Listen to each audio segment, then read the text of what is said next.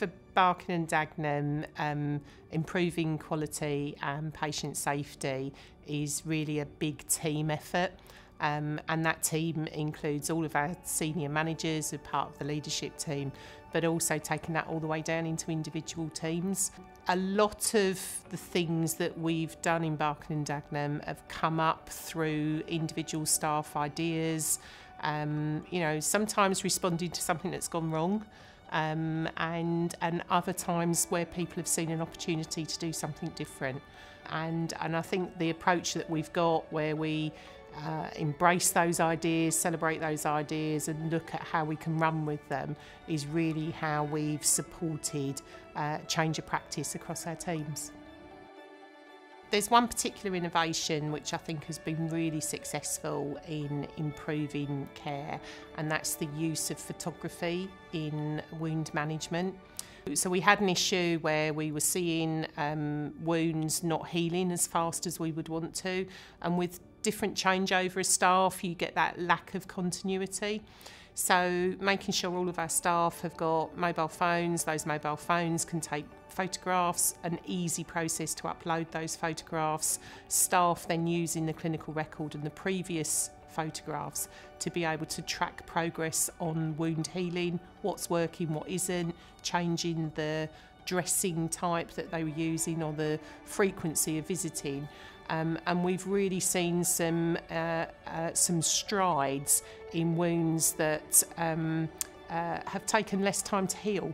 Um, and so that's benefited the patient, it's benefited the carers, um, and obviously it's also brought back time into the district nursing service, working with our tissue viability nurses um, to be able to then see other patients. So that's really helped to make a difference.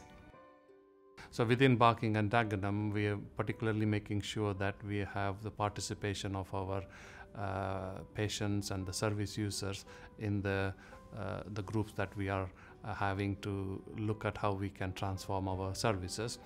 And we're making sure that appropriate uh, representation is made, whether it is children's services, old age services, or the adult services, uh, appropriate carer and the patient is identified and they are supported to attend uh, these meetings and help to contribute um, uh, and uh, we are seeing a very active participation. People who are attending um, uh, the, the meetings are really very positive. They've seen that their, their voice is heard, uh, their um, uh, suggestions are being taken seriously.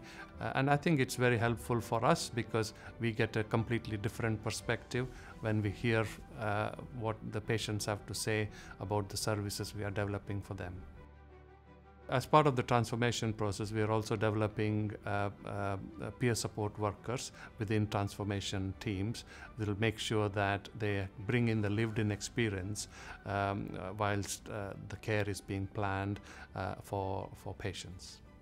So I think co-production happens on lots of levels, but I think one of the ones that um, I'd like to just share is some of the work we've done with our partners. So our primary care networks, our so our GPs, our education partners, our schools and the local authority.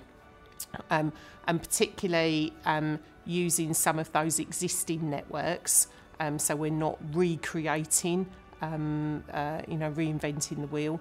Um, and that has been really helpful in, in bringing together different sectors of the community um, alongside our health services.